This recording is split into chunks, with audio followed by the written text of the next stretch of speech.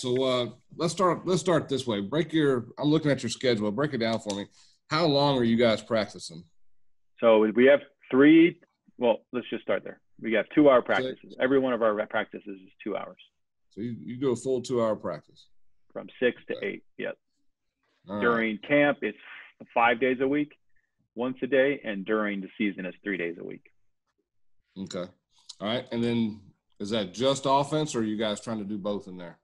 Yeah. So we typically do offensive days and defensive days separately. But what's your thoughts on that? Do you care? Uh, no. I mean, obviously, I've, I've been blessed. Everywhere I've been, we. I mean, I've been able to practice offense every day. I've never had to to worry about sharing a whole lot. Um, if it was, it was just one or two skill players. Uh, I mean, even we were in single A ball, you know, we, we went out there with 25 players and we had 22 starters. I mean, nice. they were a pretty good 22, but, but, uh, yeah, I'd say about 10. Yeah, about uh, 10 of our players probably will go kind of play significant both ways. Man, honestly, I think at your level, I think it should. At middle school, you don't know what they're going to be yet. Let them play exactly. both sides and see, see what they're going to be because heck, we, we get them. Kid might have been a linebacker and left tackle, and all of a sudden he comes to me and he's playing tight end or he's playing slot receiver. They change so much. Go out there, oh, let man. them have to play whatever they need to play. Do whatever you exactly. need to do to win games, right? So six to six twenty. I want to this year have instead of doing a traditional static warm up, I want to have the receivers and quarterbacks who pat and go and settle a noose. And I would like to have these O linemen warming up with actual drills. Um, right and I would assume it would be like pass pro step throughs and ladder drills. And I heard you say sled. I, I got excited when I heard that on the video that you guys do sled work before practice, or I mean during yeah. warm ups. Yeah, that's um, our warm up. Yeah, the ladder and the sled are our warm up every day. Okay, so ladder ladder for what? Like five minutes, ten minutes? Uh, I mean, if you got twenty. If we're if we're going through it pretty quick, I mean it, it, it's probably ten minutes. Okay that's one of the things we're blessed. I mean, you're blessed with an OL is you're, you're not on a clock, so you yeah. might be. Uh, that, we always break it down where you know I might have 25 minutes. You know, I'll, I'll show you how my schedule's broken down in a second. But yeah, the uh, you know we might have 25 minute block that's just me and the O line. If I'm coaching O line or whoever's coaching for me, you know they they have 25 minutes, 30 minutes, whatever straight of it's them and the O line. Get what you need to get done. So it might not. It might be a, a three minute drill with an eight minute drill with a two minute drill with a five. It's whatever the drill takes. Mm-hmm. Um, there's certain things we do every day, and I'll go over all those with you because you got all my drills really. I'll tell you what I do each day, kind of how I break it up. Right. But I right. do think the period, breaking it up into the periods and trying to keep your O line coach, which is going to be you this year, by himself as long as possible is the best thing. I mean, so right here, when it was me coaching O line, I loved it. All my O line coaches have loved it. You know, they go by themselves all the way through practice. And then even here, all right, when we get to Skelly, seven on seven, we're over there throwing the ball, you know, working on our passing game. That's without the O line. The O line coach and the D line coach are by themselves on a, on a different part of the field doing the one on one pass pro, which I've told you is the absolute number one thing you have to do. And yeah. my O line coach controls that. Know, I think that's a huge deal. D line coaches tend to get too jacked up, too excited, and they get too competitive and they get mad about, well, I need a guy here. We don't really play a three. I don't care if you play a three technique. My guard has to have somebody on him to block. Cover up all five of my freaking linemen and let's go. You know, everyone needs to learn how to pass rush. It don't matter what man they're on. Work your pass rush moves. But and so we're shotgunning reps right there. But my O line coach, he's working with the D line coach, but he's running that. And then right here, now he's working pass pro scheme. You know, and a lot of times that's just a walkthrough period. Sometimes we'll borrow the D line, but again, we're just building. So all this time, my O line coach is working. And it's not until we get to that screen period where now he comes together with, with, with skill players. He hadn't even seen a skill player in practice yet until right. period. And that's, and that yeah, that's halfway through. All the stuff you need. It's all building up. So they're by themselves almost the whole practice. Then they go screen, option, inside run, and team together. I love that it's so separate and literally it could be the first hour of practice where we're just working whatever we need to work with as an O line. I think I think you have to on O line because, like you said, counter's not going right. If you need to, then you're gonna you can go out there and all right, stand here, put the twos right. Let's walk through. It gives you the chance to be a coach and adjust to what you need to do. And there's been times where I've done that. Like I said, I do those drills right there. I told you every single day. Um, the only other one I would add for my run drills, you know, back especially if you're a, a power team, you know, is is I would also do some kind of combo drill, and that's one where I would have to change it a little bit because I would go through and some days it'd be a power combo like for ISO or for uh, counter or for gap, or some days it'd be a zone combo for our mid zone scheme. You know, I would change that up, but we'd do some kind of combo drill each day too. All right. So yeah, gonna, we do. We do need that for power. We run power too. Absolutely. You gotta learn how to mate. I mean, if you can't mate, you can't run power. Set and punch. Uh, so yeah, so let me ask you about that drill in particular. Set and punch. I mean, just talk me through the, the main talking points. So we're gonna do what you what you're suggesting. Um, two step vertical drop. Try to get back, back pedal two steps, get yourself set. I think I heard one of your main talking points, kind of getting your eyes below their eyes. What else would you say on that one? Because I really want, obviously, that. Right. I, I, don't. I don't really teach two steps. I tell oh, them. They're, no, they're gonna they're gonna back up as far as they can until contact. The defense oh. determines when we hit. When they, I would. It happens at two steps quite a bit, especially on the interior, but but not always. Um, the biggest thing on set and punch um, is learning to set to leverage. The whole key to the, the pass pro is learning how to put your body on the inside half of the defensive guy you're trying to block until the last possible second. Once you guys lock up, now you're squared up. But you cannot get beat inside. And that, that whole drill is learning how to drop either on a 45 left straight or a 45 right. And you know that, that angle changes depending on the alignment. That's the basic concept is no matter what, that, that you're backing up where, yeah. all right, well, here's the ball. Ball's on this side. All right, so if you the D lineman, all right, let's just say this is a guard. So that you have a three right here. All right, he's already lined up where you want him to be. So if that guy was tight on my three, which most time he is as a, on a guard, then I would be pass setting straight back. All right, that would be my pass because I'm already inside. Yeah. Right? If this guy widened, then I would start widening with him, staying on the inside part. All right. If he tried to cross my face, then I would work hard inside to stay on the inside half. All right. Now, same deal. If this is the ball, but now I have a one technique. I know I got to work my ass off now. Now I got to work like hell because I have to set to the inside half of him. I cannot mm-hmm. let a, a defender be inside of me. Now, if my center ends up helping me, if I know he's helping, then I don't have to rush quite as big. But as long as I'm thinking I'm blocking him by myself, I have to fight to get to his inside half. Because if I get beat outside, you, you saw my drill. I can watch him by and we'll live with it. But it's yep. death to beat inside. Cardinal sin. I'll get I'll fire a guy for getting beat inside. All right, I'm gonna yep. chew his ass for that because that's a manhood thing. We don't get beat inside. Right? Never. that, that cannot happen. All right the hardest one is really, you know, especially at your level, because I know you guys are going to see some studs. They're going to put some damn athletes out here as wide sixes and just rush their ass to quarterback.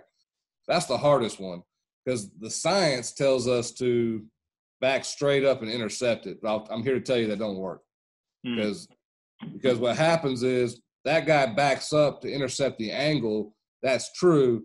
That's a better athlete who is running full damn speed by the time he gets there. So if he hits right. you, he blows you up if he's just a really good athlete, he shakes you in space. So you end up still having to set slightly at the angle and trying to intercept it. And that's the hardest one because you really got to work. You can't overset it and let him dip you back. You really got to get to the inside half and live with, all right, we got a stalemate sideways. I'm just going to push him by the pocket. Right. But luckily, those athletic guys, a lot of times they'll let you do that. They don't like getting bodied up. If you'll just be set and get on them, you're you're, you're fine. Yeah, no, that's that's that's genius, and yeah, it's it's five on five up there. I mean, it really yeah. is. Yes, and, and yeah, the Reggie Whites are the ones that scare you, the ones that can outspeed you and knock you on your ass. Those those are the ones that are right. hard to block. Right, they get you moving, and then he just freaking just arms you down, and just knocks you off. So yeah, yeah. You, that's what I was going to ask you to do. Will you draw? I just want to show it for myself and other coaches. If we see a five man front, um, how you get the running back involved with the blitzes. Okay. Uh, you seen a five two, or you seen like a five? Uh, I would say five three, and it's yeah. Yeah, yeah. You got if you seen a five three, you're probably in trouble. I mean, it is they. I mean, just because they can't outnumber you, but if you get a true, you know, they they're covering up, they're G down on everybody, like that. Is that what you're seeing? Yeah, exactly. Okay. It's just All right. mono a mono. I'm seeing if we're seeing this, and we're probably going to be in some kind of doubles. Mm-hmm. Right. If they go zero, you got to know you're outnumbered. You got you got to have you got to have an answer to get the ball out. As long as they're playing a safety, then you're okay. All right. Yeah. So if they play, you know, if they take the guys out here like this, now that only leaves one backer in the box. All right. So if you're going to do that, then your running backs, if those guys are covered, then he's going to take the single linebacker. If that linebacker doesn't blitz, he has to scan for everybody. Right. Right. And he already knows if it's all five up there, he's chances are he's probably going to be helping in pass pro because that means that yep. they're a pressure defense. Now, what a lot of teams will do to you, unfortunately, is you know they're going to bring a safety over here and they're going to go ahead and bring that other guy back in the box and just say the heck with it. We're going to play quarters or we're going to play, you know, we'll play soft man or cover four, and we're going to put the other seven in the box and middle finger you. We're going to we're going to bring it.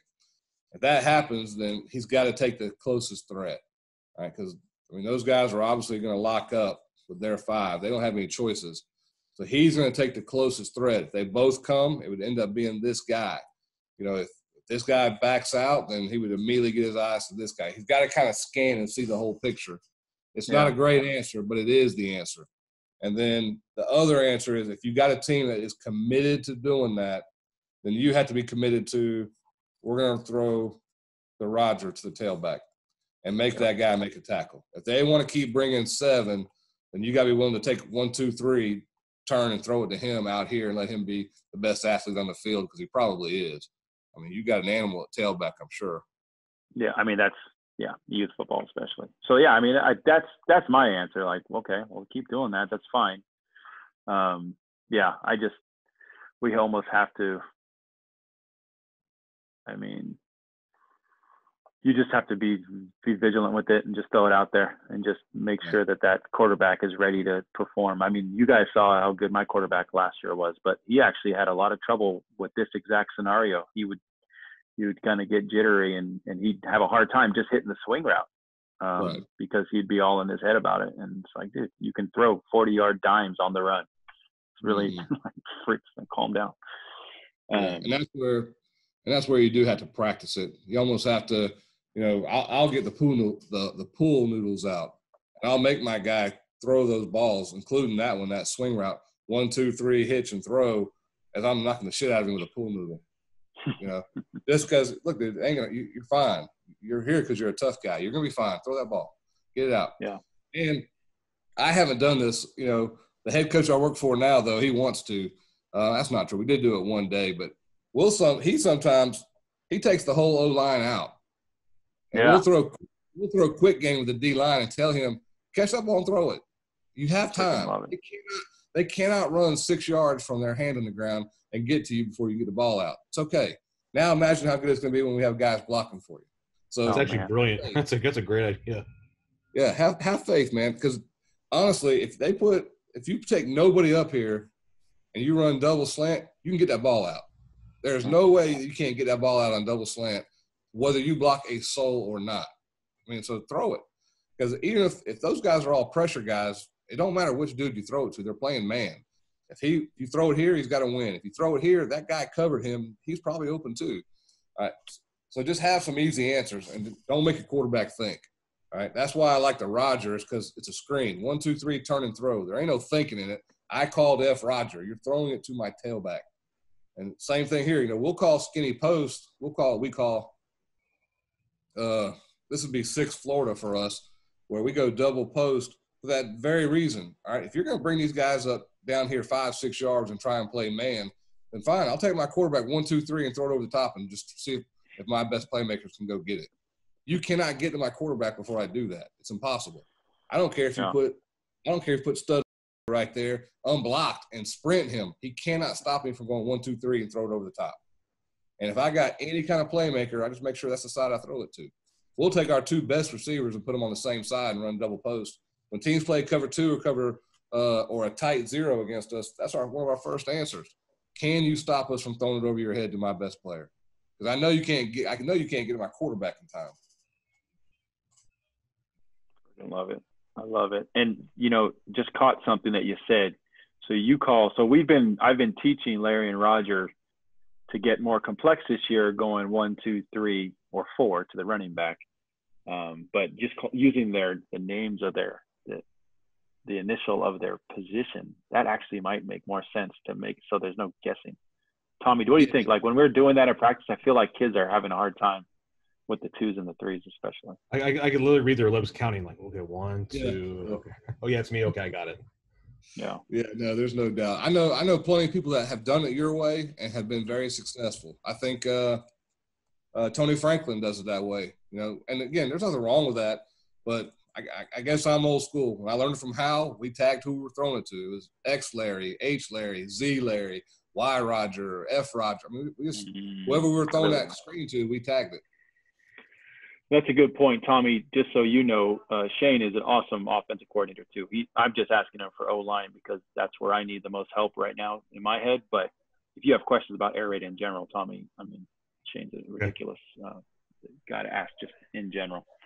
Um, wow. So yeah, that is better. And I, I, yeah, and I we didn't do it last year with the numbers, but I just wanted to figure out a way to call it quicker. But I like the I like the letters better. Okay, let's change yeah. that, Tommy. I'll tell you what that does for you.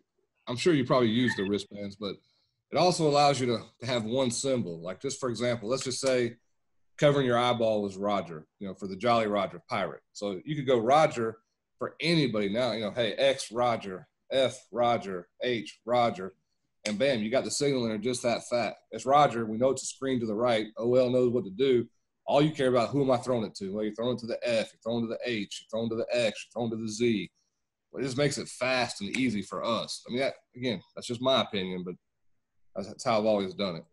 No, it's great. That's great, man. All right, cool. Um, any other? Just be conscious of time here. Any other O line everyday like you have to do this? So I got on the pass pro set drill, inside hands, opposite pressure. Uh, we're gonna do shoot. We're gonna we have to do shoot drills for every type of run that we do. Um, we're going to do that. We're going to start with ladder and shuffle with sled, shuffle sled. I love that. Any other, you have to do it. Oh yeah, we're going to do one-on-ones. Yeah. Pass pro. For, for individual drills, not really. I mean, those, those that the, the the ones you just said right there, those are my everyday drills. All right, well, the ones that my guys know that we're going to do every day. All right, they always know that we are. We're going to start off. We're going to start off with ladders a lot of times, a lot of times they would start off before I even got there because they knew. You know, my leaders would get down there, get them lined up, and they'd start going through because they, they already know what to do. All right, so they'd go through the ladders. Uh, we would do the shuffle drill on the sled. All right, that's that was basically our warm up right there. That's what we call our warm up. Yeah. All right, and then we're, then we're gonna go do our run blocks and the shoot drills. And again, that's every day. All right, so we're gonna do right base, left base. All right, then we're going to do what I call a, zone. We're going to do right zone, left zone. I, I warn you now. I, am my guys love me. I, I mean, my old line always loved playing for me, but I, I, am merciless. I mean, we are flying through this stuff. You know, I, I don't I don't really do a whole lot of half speed crap. You know, and we're teaching maybe, but once we're going, I expect the right base step to be perfect. I expect it to do it three times full freaking speed. And they're going to have a target to run to, whether they're running to a cone, running to contact, running through a whisk. We're going to have something to make sure that they are finishing every single drill. I think that's absolutely critical. Um, and then we're going to pull left and right. Again, I always do this. We do three reps each direction every single day. And uh, you know, I have a three man. I always always had a three man shoot, so we're going through there three at a time, and you know there might be one group of two or one group of one, but we're going to go through that. And I always made them run back around and come back the same way. I know some guys run them through and then run them back. I never like doing that, especially if I set up a board for them to step over or mm-hmm. had something to go hit or a cone set up. Just to me, it's easier. They would run through and then jog back to the end of the line. That, again, right. that's just me. You can set it up any way you want. All right, and then for pass pro, we're always going to do a set drill. Right, we're always going to do inside hands.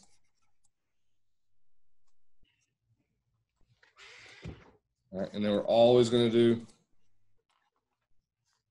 opposite pressure. All right, and now remember, on some of that stuff, you can change that up a little bit each time as you're doing it. So inside hands, you know, I told you, especially early, I might just give them one direction for a while. You know, right. some days I might give them two directions.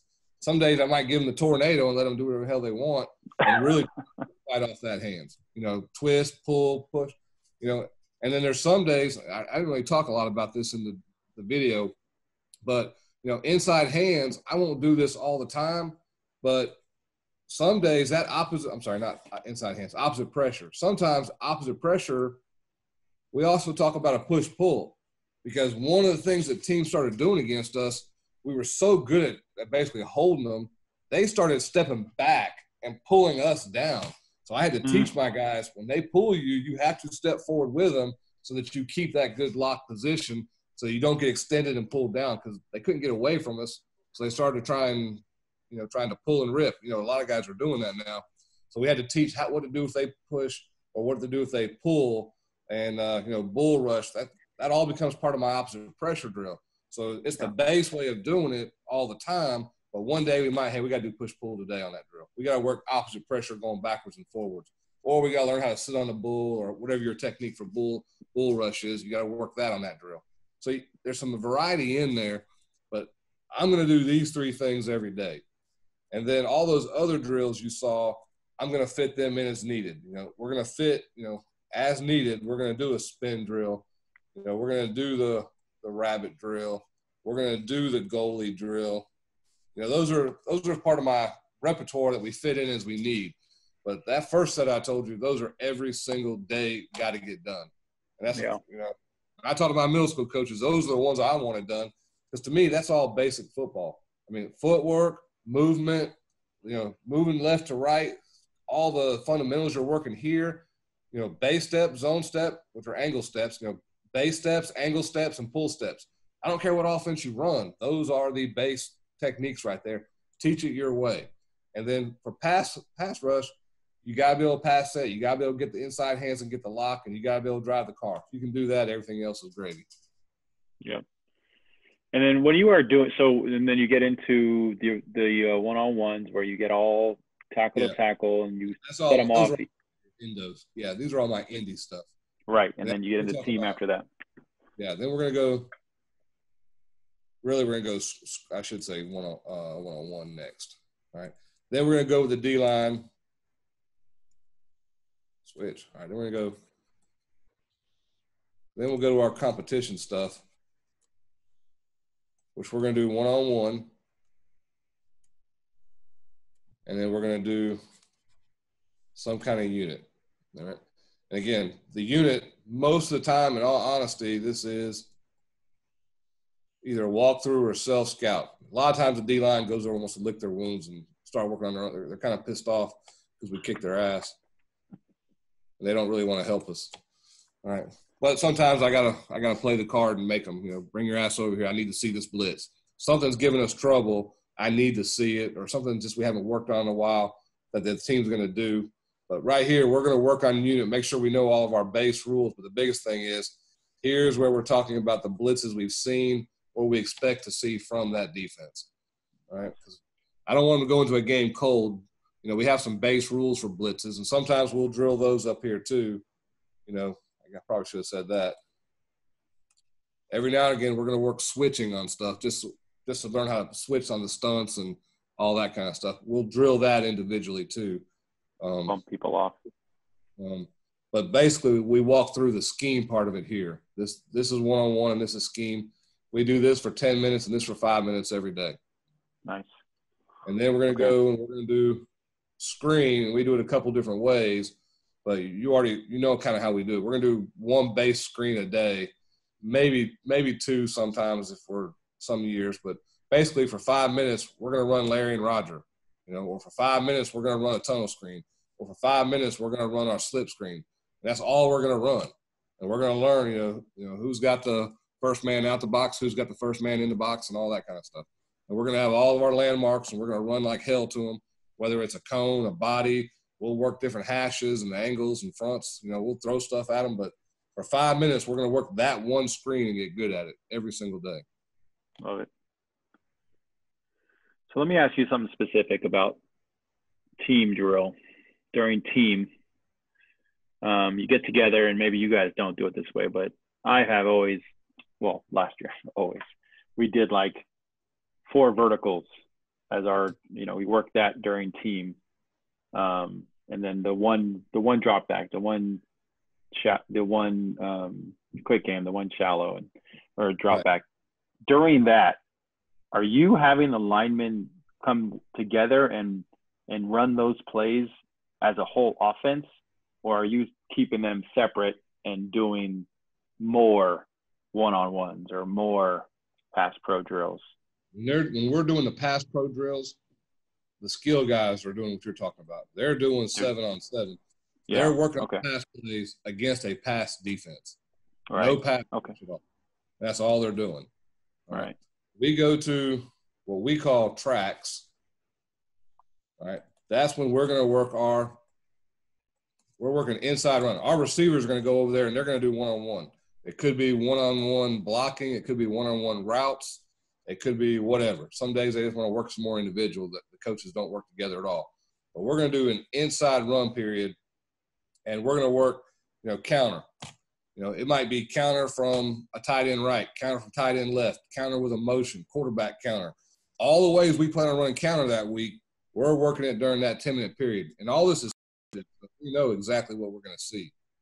All right. So we already, here's our 10 play script for tracks that day and all of our variations of counter that we expect to run in our game plan, we're doing that period right there. And we're seeing is that, a, is that a full speed, full contact? Yes. Now we don't go to the ground though. Okay. We don't ever go to the ground in our team, our practices. We don't. Even, we don't even wear. all we wear is a girdle. We don't even wear pants um, or knee pad. Yeah. Nice. We don't ever go to the ground on purpose. You know, we tell our tailbacks if you're running hard enough and they thud you, and we all come together, we should be fine. Now your your ass is tiptoeing in there and get hit, you're going to go to the ground. That's your fault. um, we're pretty good. We, we, we, do a good job of protecting each other and you know not being stupid. You know, we're not going to take the the blind shot on a receiver any of that kind of stuff. We don't cut our own players. We're not cracking back on our own guys, all that kind of stuff. But no, our inside it's a tough physical practice. Um, and then option option is basically the same thing except it's option but we will bring the receivers in there for that quite a bit because a lot of times they're a part of it. You know, they got to know when are they blocking a safety, when are they blocking the receiver on them, when are they cracking inside on a linebacker. Sometimes they're motioning to be the option guy. So a lot of times we bring the receivers in on this, and it turns into a full team period, 11 on 11. And then we do a full team. And for us, that is 11 on 11. Our best are going to go against our best at least some. Now we're going to filter some twos and threes because we don't want to wear our ones out, but we're going to see best on best at least a little bit. Um, and we're not as disciplined about the play of the day like you were talking about. When we get to this period right here, we're we're working on our scripts here. So mm. even though this might be a, a a 95 day, you know, 94 might be in my open list. So if Monday's my open day, I'm going to run 94 right there. Uh, so yeah. I'm still going to call it me. You know, some guys don't. Some guys stick strictly to their their daily stuff, and that's fine. But you know, we're going to have a somewhere between 10 to 15 play script right here, and we're going to go through that that team period every day, and that script's going to change. All right. So in all these other periods, we are we are focusing on our plays of the day. On that option right there, we're either gonna we're gonna run whatever our option is for that day. Um, mm-hmm. But when we get the team, it's all it's all fair game. Our Love whole it. offense. Thank you. Thank you for breaking that down. I appreciate it, man. That's uh, this is everything that I, that I was looking for. This is perfect for us. Staff, we tried to impart on our youth coaches. You can tell a difference between at, at the middle school level or the rec level teams that understand how to structure a practice and build skills. The guys that just go out there and and run plays for an hour, they're not very good unless they just have the best players. I mean, if you're loaded with players, it really don't matter. But the guys that actually teach some skills and some drills and then bring them together and teach in small group and then bring it together and do team, they're better. Their kids know what to do and they can carry it through and, and do that stuff. The other ones are the ones that they run the wrong way, they hand the ball to the wrong guy, balls on the ground half the time, don't know where the receivers are standing. That's because they don't rep that stuff and don't practice it with any kind of structure. And I think you guys are way ahead of the game on that. That's why you're able to run mesh in middle schools because you practice it well. Yeah, well, just reps, just uh, all you guys putting out your videos. I mean, it it makes so much sense, and I'm just glad that people are responding to this. And sounds like we're getting more and more people to to be, at least be open to to start the process at that middle school level so far. So, you guys are definitely helping helping these guys out uh, more than you probably know, to be honest. So it's just opening a lot of eyes. So I appreciate you being so willing to to jump on these calls with us. I probably will tap you on the shoulder a couple more times before hopefully the season starts. Anytime, um, man. I appreciate it, man. So, all right, Thanks, Shane. We'll talk soon, bud. Yes, sir. All right, later.